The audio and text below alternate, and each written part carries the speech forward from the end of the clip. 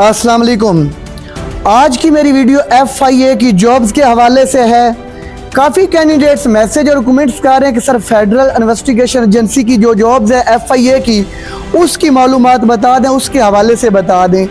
तो जो आज की अखबार है, रोज़नामा जंग 30 जुलाई 2024 रोज़नामा जंग में एक ऐड आई है, जिसमें 200 पोस्टें अनाउंस हो चुकी हैं। तो इन पोस्टों के लिए आपकी क्वालिफिकेशन क्या होनी चाहिए? और आपकी एज क्या होनी चाहिए? तो मैं आपको हर पोस्ट की एज और क्वालिफिकेशन तरतीब के साथ बताता हूँ।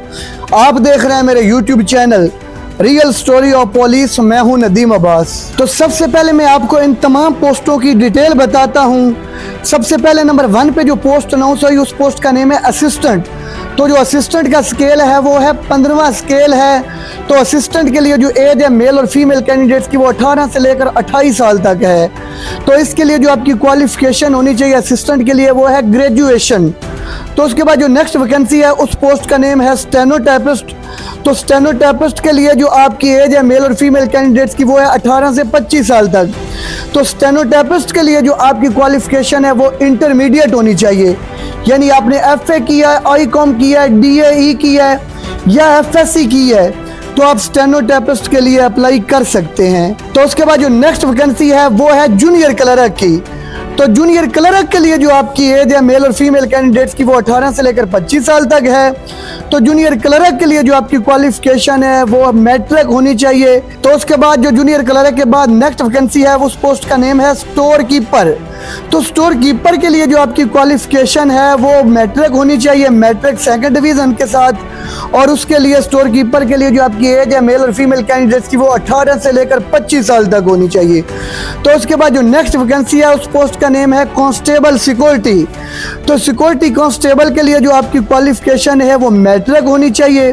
और आपकी जो एज है मेल और फीमेल कैंडिडेट्स की, वो 18 से लेकर 25 साल तक होनी चाहिए। तो उसके बाद जो नेक्स्ट पोस्ट है, उस पोस्ट का नेम है नैब कासद तो नैब कासद के लिए जो आपकी एज है, वो 18 से लेकर 25 साल तक होनी चाहिए और आपकी जो क्वालिफिकेशन है, वो प्राइमरी पास होनी चाहिए।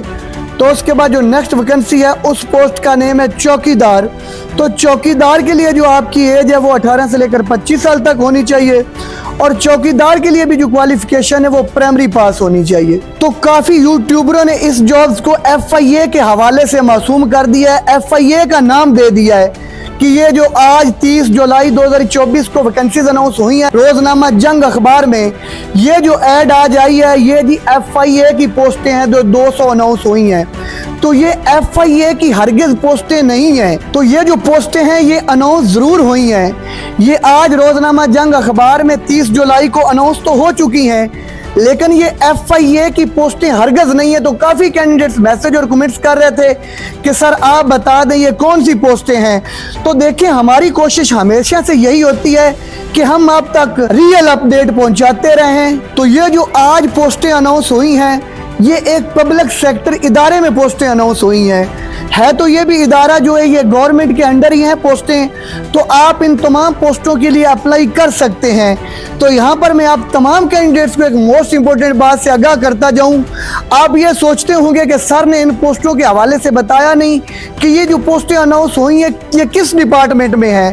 तो यहाँ पर सब कैंडिडेट्स याद रखिएगा कुछ इदारे ऐसे होते हैं जो खुफिया तौर पर होती हैं एजेंसीज होती हैं तो वो इदारे अपना नाम जहर नहीं करते। तो ये भी सरकारी ही इदारे की जॉब्स हैं तो आप इन पोस्टों के लिए ज़रूर अप्लाई करें। तो यहाँ पर मैं आप तमाम कैंडिडेट्स को इस बात से आगाह करता जाऊँ, ये जो पोस्टें अनाउंस हुई हैं आपका तल्लुक पंजाब के किसी भी अजला से है तो आप इन तमाम पोस्टों के लिए अप्लाई कर सकते हैं।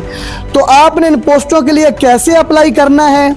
आपने अपने जो एकेडमिक सर्टिफिकेट होंगे, आपने उसकी कॉपीज अटेस्टेड करवा कर आपने इस एड्रेस पर अरसाल करने assistant director admin PO box पाँच सौ इक्यावन। तो ये थी इन तमाम पोस्टों की हकीकत जो मैंने आपके साथ शेयर कर दी है। तो लिहाजा ऐसी जो मुख्तलिफ़ ग्रुपों में पोस्टें गर्दश करती हैं, उन पर तवज्जो मत दें, क्योंकि हमारी कोशिश यही होती है कि आपके साथ रियल अपडेट शेयर करते रहें। आल भर्ती की तैयारी और मुकम्मल गाइडलाइन के लिए हमने एक व्हाट्सएप ग्रुप बनाया है, जिसका नंबर नीचे स्क्रीन में दिया हुआ है। अगर आप भी हमारे व्हाट्सएप ग्रुप में ऐड होना चाहते हैं तो आप नीचे दिए गए नंबर पर रबता कर सकते हैं। अगर आपको हमारी वीडियो अच्छी लगे तो मेरे YouTube channel real story of police को सब्सक्राइब करना मत भूलिएगा। ताकि भर्ती के मुतलक हार नहीं आने वाली गवर्नमेंट जॉब की डिटेल आप तक बसानी पहुँच सके।